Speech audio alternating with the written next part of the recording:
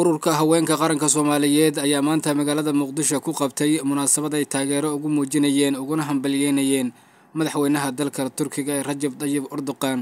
kadib doorashadii dib loogu doortay ee ka dhacday dalka turkiga. Waxaana munaasabadani ka soo qayb galay guddoomiyaha ururka haweenka qaranka soomaaliyeed batuule axmed gabaleh guddoomiye ku-xigeenka ururka iyo marti sharaf kale ugu horreyntii waxaa munaasabadani ka hadlay mas'uuliyiintii ka soo qayb gashay munaasabadan ayaga oo sheegay inay taageero u muujinayaan dowladda aan walaalaha nahay ee turkiga guushii ay dhowaan dib ugu doorteen madaxweyne rajab dayib erdogan. Waa loo wada mahad celinaa soomaaliya wuxuu ku leeyahay amaal gaara taariikh gaara mid aysan iloobeyn jiilalka soo socda iyo kuwa hadda joogaba. Baadhii xisbiyadii isbiirsaday. Waxay isu soo bahaysteen si uu urdigaan u baxo gumaysigii kula ballamay inuu helo baylahdooda ayaan bisinka u hayaa. Maanta isugu nimiday mas'uulka madaxweynaha turkiga mudane rajab tayyib erdogan iyo marwadiisa aamina erdogan. Waxaan leenahay haweenka qaranka soomaaliyeed haddaan nahay taageero buuxdo ayaan u bixinaynaa. Baliyo u diraynaa madaxweynaha dowladda turkiga madaxweyne rajab dayib erdogan iyo marwadiisii oo mar labaad ku guulaystay kursiga madaxtinimada waana geesigii islaamka. Ugu dambeyntii guddoomiyaha ururka haweenka qaranka soomaaliyeed ayaa tilmaantay sida bulshada soomaaliyeed ugu faraxsan tahay guusha taariikhiga ah ee uu gaaray madaxweyne rajab dayib erdogan kadib doorashadii dhowaan loogu doortay dalka turkiga. Maalmihii aada u bareertay ummadda soomaaliyeed inaad badbaadiso imaatinkaagii soomaaliya aad timiday iyo barakadii iyo khayrkii aada la timid maanta inaan ka jawaabno oo aan kuu sheegno inaan noolaanay inaan nool nahay inaan garabkaaga taagannahay inaan ku taageersannahay inaan kuu ducaynayno inaan had iyo jeer ummadda turkiga aynaan iloobaynin abaalka ay ku leedahay ummadda soomaaliyeed gaar ahaan haweenka soomaaliyeed oo dhibaatada fog soo maray. Maanta waxay u taagan yihiin inay ku tusiyaan quluubtooda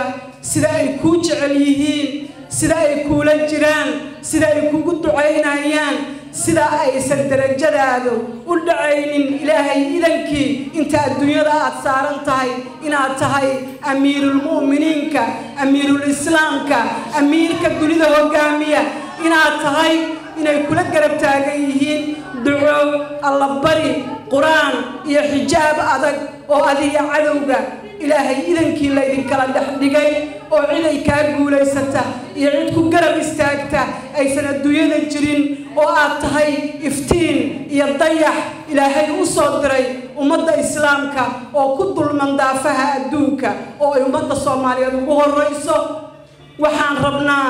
ilaahay hadduu raalli ka noqdo masajkeennaan iyo ducadeennaan iyo hambalyadeennan inaad ka guddoonto haweenweynaha soomaaliyeed hooyooyinka soomaaliyeed kuwii shalay aad ka qaaday heeriyada abaarta gumaysiga oo maanta ku naaloonaya calanka turkiga iyo calanka soomaaliya oo ay ku hoos nool yihiin rajadooduna ay aada u fiican tahay waxaan kaaga mahad celinaynaa taageeradaada buuxda oo aad shacbiga soomaaliyeed iyo xukuumaddiisa u fidisay waxaan kaaga mahad celinaynaa ubadkeennii aad jahliga ka saartay ee aad u daadguraysay inay turkiga wax ku soo bartaan diintooda ku soo bartaan dhaqanka suuba ku soo bartaan ayaga oo mutacalimiinana maanta dalka ka shaqeeya. Waxaan kaaga mahad celinaynaa deeqda waxbarasho oo joogtada ah ood siiso carruurteenna waxaan kaaga mahad celinaynaa ciidamada cadowga baabi'iyey ee aad tababarka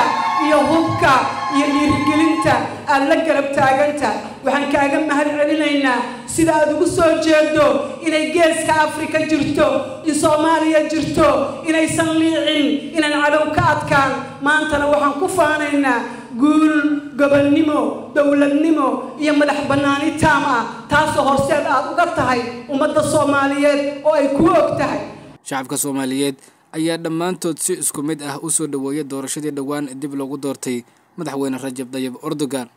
Cabdiraxmaan shaahu warbaahinta qaranka muqdisho